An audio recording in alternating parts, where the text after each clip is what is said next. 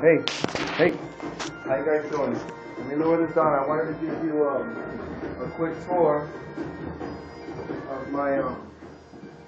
I wanted to give you a quick tour of my uh, my Scottish whiskey, my Scotch collection. Basically, I don't want to ruin Scottish language. The flag up and some music to get a theme going. Here we go, really quickly, because I know videos can be boring sometimes. So we'll do this fast.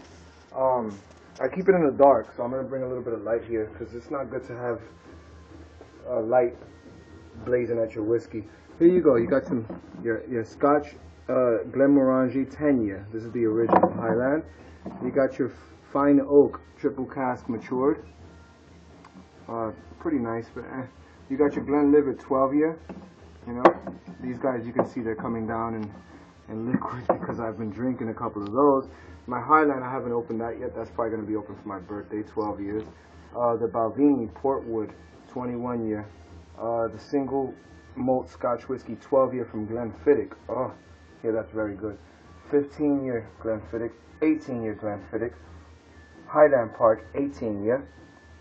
Avion Anejo um, tequila and Avion Reposado tequila. If you're wondering why that's there, my wife loves tequila, uh, mostly Patron, but she's going to give that a try.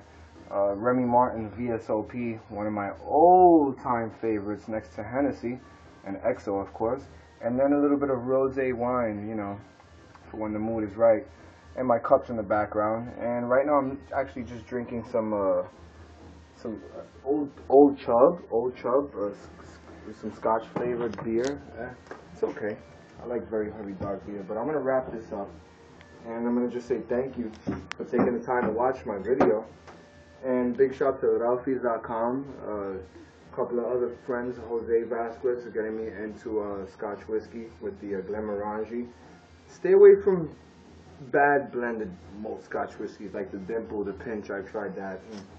Um, but other good blended malts like um, like uh, Johnnie Walker.